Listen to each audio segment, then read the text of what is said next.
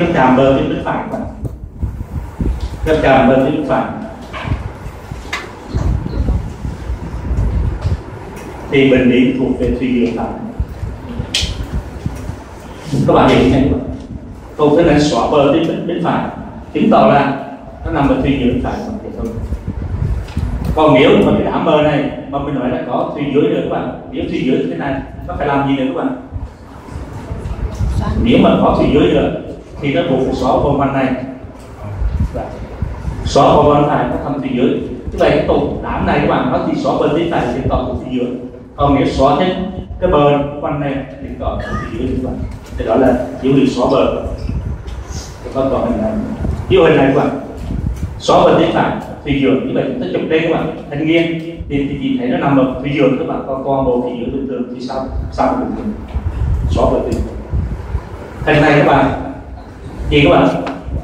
Đây là bóng bờ bờ thì nó đi qua được các bạn. Thấy gì các bạn. Như vậy có xóa bờ các bạn. Không xóa bờ chứng tỏ gì các bạn. Không nằm trong mặt phẳng không nằm trong phẳng của tim thì nằm đâu bạn? Một nằm ở phía trước sau. Mà tim nó nằm sát ngực các bạn. Như vậy mình biết là trước. sau. Phía sau thuộc thì nào các bạn? Dưới. Đây bạn. Nó thuộc phía dưới. Tự nhiên là phía sau có thể kết bạn mình còn chúng ta không có dữ liệu so bờ không so bờ chúng ta nó không chồng với nhau không tiếp xúc nhau thì ta hai mặt khác nhau. Như vậy trong thiên niên chúng ta phải đoán được cái này nằm phía sau phía sau đó dùng so bờ dùng sắc để tìm hiểu các bạn. Cái điều đó số cái chúng ta còn số cái nữa là số dữ liệu khác khá nhiều. Các bạn cần tìm chọn thêm các tài liệu các, các dữ liệu nhiều của bạn. Các bạn có các bạn ghi nhận không? Các bạn nghe dấu điều này quan trọng nhất trong chẩn đoán này các bạn. Dùng cơ bản nhất, các bạn các dấu hiệu các thường đi đi ra từ dấu hiệu này.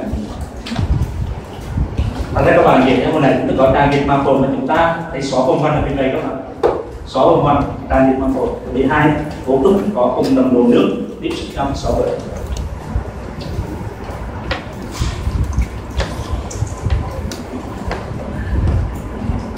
các bạn hỏi thêm nữa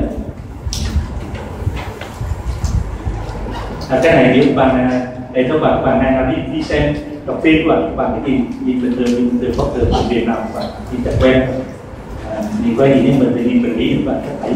Phải bác sĩ cái đọc cái này viêm phổi cái này cũng phổi. Rồi cái này là à, ví dụ như là cái video các bạn như các bạn phải biết là vì sao mọi cái này mà cho đi phải uống bạn cái này mình phải đọc sai nhiều hơn. Thì những cái này nhưng mà đọc thêm mà nếu đọc cơ bản các bạn thì các bạn có thể đọc được cuốn đọc bị con phổi và cái số lượng cơ bản đi ba còn nếu bạn đọc sâu trong cái này thì các bạn đọc cái cuốn số lượng cái này thì cần đọc là hơn đọc sơ sơ cũng nhỏ. Hoặc các bạn đọc một số tài liệu trên mạng. Là có các cái người đọc khá hay thì cái cái này nó đẹp rất là hay. Thì các bạn thì cũng, các bạn phần lớn được khá lượng và bạn đọc cũng nhiều có đề cũng có gì tôi với tất cả các bạn các bạn được khá